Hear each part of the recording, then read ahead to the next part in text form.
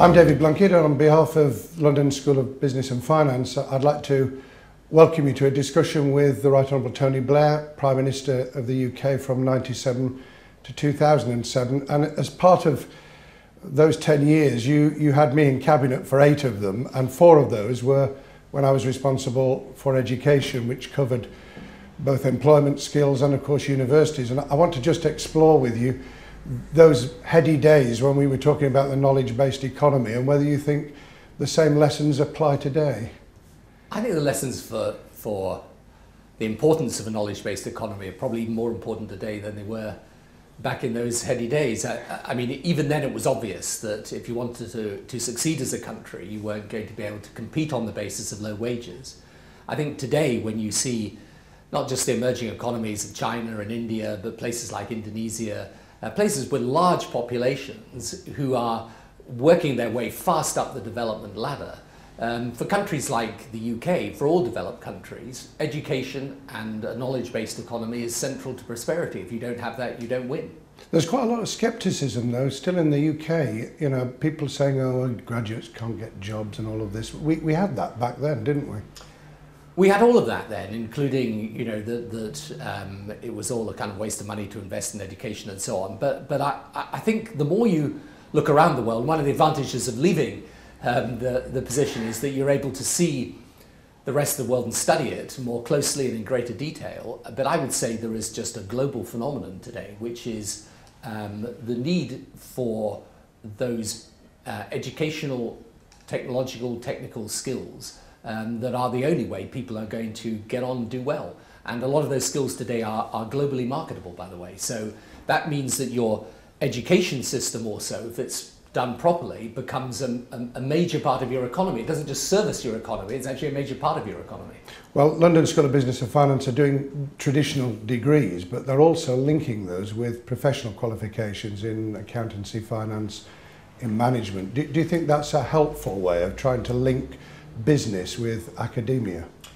Yes, I mean, I think, you know, the, how, you um, make sure that what you're educating people for has got some uh, realistic application in the world of work.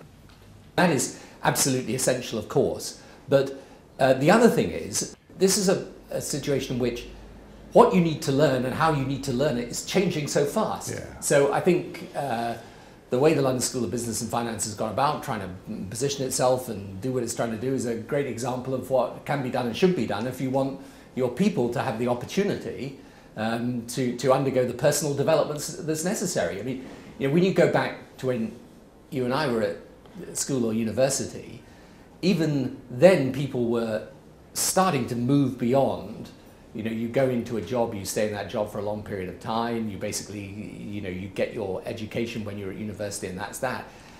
Um, even then it was changing, but today, I mean, there's a revolution that's gone on in the world of work in these last 10 or 15 years, and we've got to keep up with it. Well, you remember two things from way back in the year 2000. One was that you sent me off to China uh, to, uh, to recruit and to get the message across that uh, UK, UK higher education had a great deal to offer, uh, and uh, we've been working on it ever since. And the second was the effort to, to use technology, to use the web as a, a learning tool. And LSBF have actually developed an open platform on Facebook for materials free. Uh, and they're also obviously using technology in quite imaginative ways to, to link traditional teaching with teaching online. And we, we were talking about it then, and, and they're doing it, but it, there's a long way to go on this, isn't there? There's a long way to go. Um, again, round the world, um, what is happening is that one, people are using technology in far more imaginative ways, so distance learning and so on. And because the technology makes it possible, why not do it? Mm. Indeed, often what I say to a lot of the governments I work with in the developing world is, actually today with the technology and knowledge that we have, don't simply imitate our systems in the West, learn as to how you can, in fact, move ahead and get, a, get ahead of them because actually we still do things in a very standardized way because when we were constructing our systems, the technology didn't exist. So this is a, you know, this is a paradigm change, I would say, in the way that education is conducted. And the second thing, which is very important for countries like, like the UK, is that your um, higher education capability should be a major export for you to the world. I mean, this is um, you know absolutely clear that, that for many of the developing countries who need to develop fast have got to develop fast. They need to import the academic and intellectual capital. And if we've got institutions that are able to, to provide that capital for them, it's, it's of enormous benefit and they will access it. And we've got a, I think, probably a, a window still to use the English language and the attraction of the historic quality of our higher education, haven't we? I think we've got to build on that rather well, rapidly. We, we've got an enormous opportunity, English language for one, um, and the fact that actually so many students from abroad come here, because your visit to China, by the way, did yield benefits. I mean, the truth is, we're up there now um, with the best in the world at attracting students from all over the world to come and study here. And those people go back, not just having studied in the English language, but, but also with some tie to our country. One big issue I just would, would not be forgiven if I didn't explore with you is that on the back of the global meltdown, all sorts of changes happening in the world. And apart from your Faith Foundation and your pro bono work in the Middle East and Africa and elsewhere, you've obviously got tremendous experience in the business world globally. And I just wondered what the messages were from you in terms of how we come out of that global meltdown and how we give people confidence in the professions and particularly moving uh, to advanced manufacturing as, as well as retaining what we can of our service sector. I think what is really important um, in the aftermath of the, the, the, financial crisis is that we um, learn the right lessons from that, uh, which I think are all about how you understand and track the use of the new financial instruments today in what is an increasingly interconnected economy. But I think what's really important is that we don't as it were, discard some lessons that are very obvious and that survived the financial crisis. And one of those is that the world is more interdependent today, um, that you, if you want the most business opportunities, it is in many ways about connecting um, the ideas of the developed world with the emerging markets that, that, that are coming through, and in fact, all the way through the financial crisis have been growing strongly. And one great way of doing that is through the extension of links in, in higher education. So, you know, I think, yes, there are, are serious lessons about the way we operate our financial system, um, but I still very much believe in an open economy. Um, I think it's important that we get the right partnerships between public and private sector, and I think the single biggest thing that's going on in the world today is the possibility of the right partnerships between developed and developing world.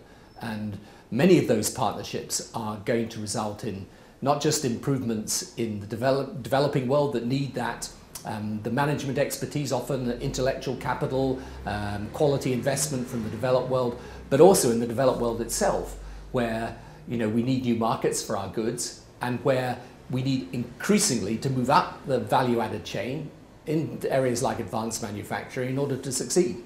And continuing reform in higher education? Absolutely, that should uh, carry on. Um, Public-private links, for instance, which uh, we were just beginning to move towards all those years ago. Well, if you look at the world today, the one thing that is absolutely clear is that there is a permanent revolution going on uh, of change. And this is very uh, discomforting for people at one level. It's also very exciting, by the way, mm. at another level.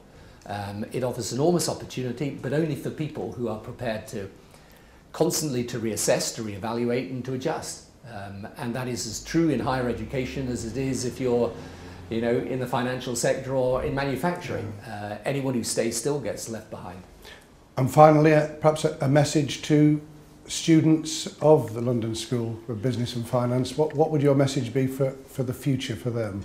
make the most of the contacts you're going to make uh, here because you, you'll, you'll form relationships and friendships and contacts that will be immensely important in later life. And you know, I, I really do believe this is a world today that works by connectivity. Um, and those people that are well connected, um, that's not just a matter of technology, it's also about forming the right partnerships and relationships. Those that are well connected will do well. Tony Blair, thank you very much indeed for sparing time to have the discussion. And uh, as ever, I wish you well. Thanks, David. Thank you. My pleasure.